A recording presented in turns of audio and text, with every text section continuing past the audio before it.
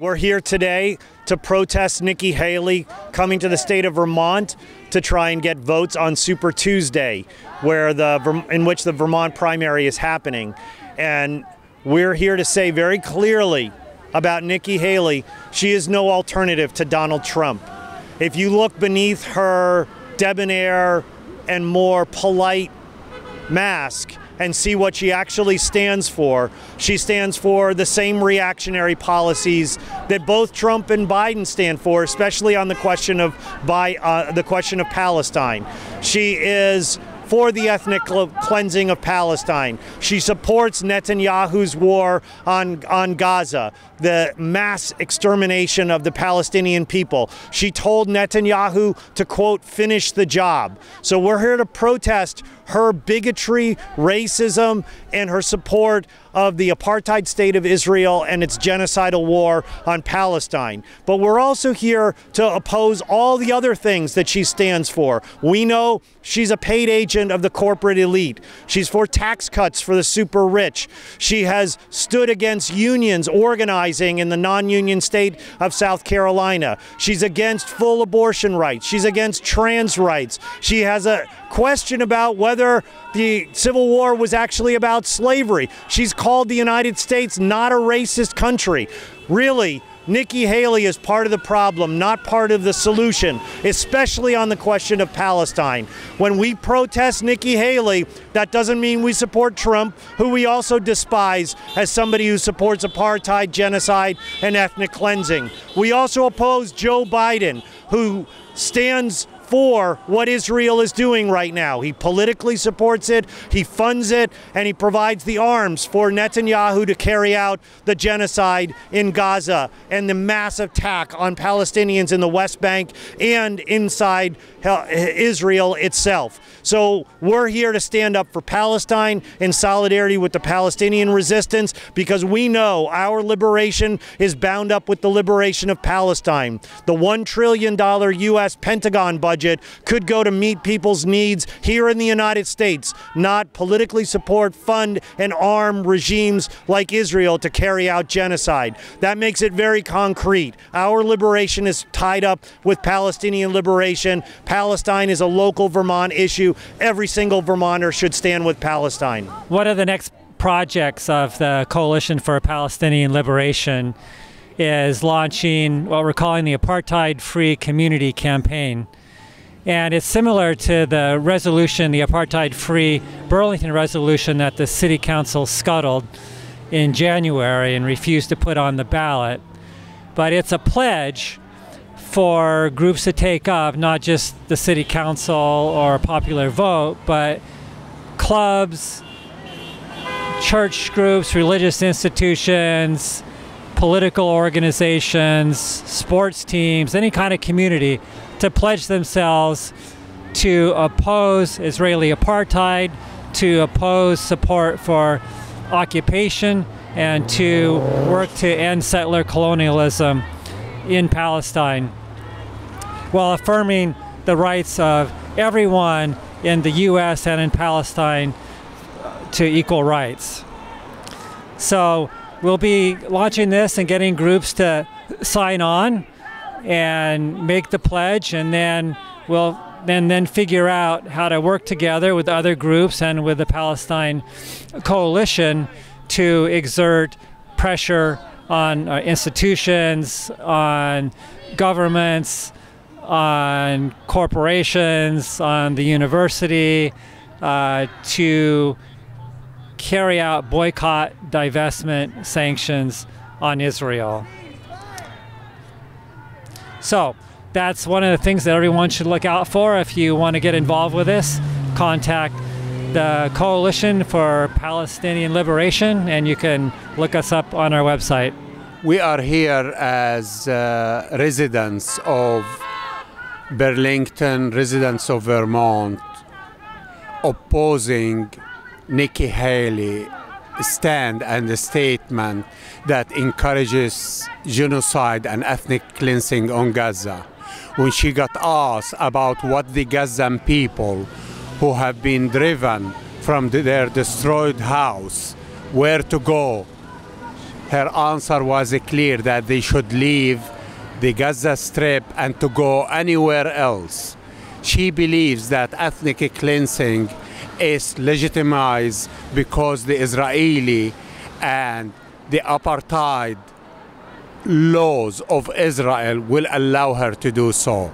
We ask ourselves as Vermonter, why a nominee for a president will take that stand. She thinks she can gain more votes from our voters by standing with right-wing government of Israel, uh, by an apartheid laws of Israel, and to be a racist. And I believe of Nikki Haley personally goes to Israel, they are racist against her and against her origin and against her race. What we are saying here, we are not standing with the opposition of Haley. We are not nominating anybody. What we are tr trying to nominate is justice for the Palestinian, stopping aid to the Israeli, uh, stopping this war and call for immediate ceasefire because this is the right way to do it. We appreciate it. Hi, my name is Mirza Korajkic, and I'm a Bosnian American Vermonter. I've lived here for 23 years now, and uh, I'm here today uh, to protest uh, Nikki Haley and to tell her that her hate is not welcome in our peaceful state. Uh, we are peace-loving people here in Vermont, and uh, when she went on the uh, public media, the mainstream media, and said, finish them all, we heard you loud and clear, Nikki Haley. And that type of hate is not accepted anywhere, and especially not here in Vermont. So we're here today. We have over 200, 300 people. Uh, yesterday we were out. Uh, we had over uh, about a thousand people uh, essentially sending you the message that your hate is not welcome here. Uh, and we do not support people who spread hate. Instead, we want candidates that are pro-peace uh, for and uh, peace for all people, including the Palestinian people. We have over 30,000 people in Palestine killed right now because of your words. Finish them all. And Israel still is following your words. They're trying to finish them all. 30,000 people, more than half of those people are little children, Nikki Haley. I hope you're proud.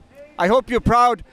And that is a sarcastic statement, but I really hope, what I really, really hope is that you are ashamed of yourself for um, telling folks to kill children, little children. Those children are innocent like any other children, and so are majority of the Palestinian people. And that's that's all I got to say. How you guys doing today? We're here at the uh, pro-Palestine rally to show Nikki Haley how we're not going to stand up to her inferior immigration crisis and we're just not going to have this. It's unjust and it's really nice to see all these people here coming together to support this. And I don't really have anything much to say else, but. Proceed. All right, we have another protester that just came out. They are kicking us out because they're afraid. We stand for justice. They stand for injustice. They stand for exploitation. We stand for liberation. Here, give it up for Zach. Uh, hey, what's going on, guys? Yeah, it's it's Zane, and we oh, uh, it's all good. But she, I mean, she's just pure evil. She started talking about immigration and how she passed the toughest immigration law, which goes against real people. They're putting real people in cages, arresting people. These are asylum seekers. Here, can I put this? I can scream better. I'll hold it. These are asylum seekers and they are people who need to be taken care of. And they want to shove that away. They want to put cages in cages. They want to support the genocide. They want they call for an end to division and hatred. Yet they are the division and they are the hatred. They hate freedom.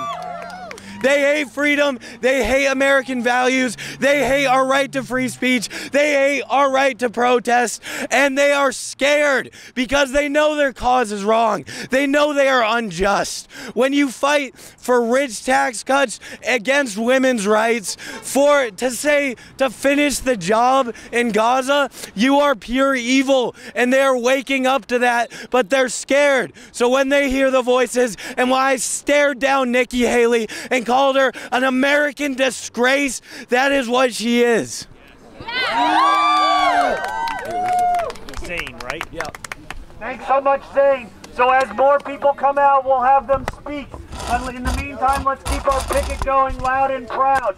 And after what Zane said, let's lead the chant from Palestine to Mexico. Border walls have got to go. From Palestine to Mexico, border walls have got to go. From Palestine to Mexico, border walls I've got to go. Palestine to Mexico, border walls have got to go.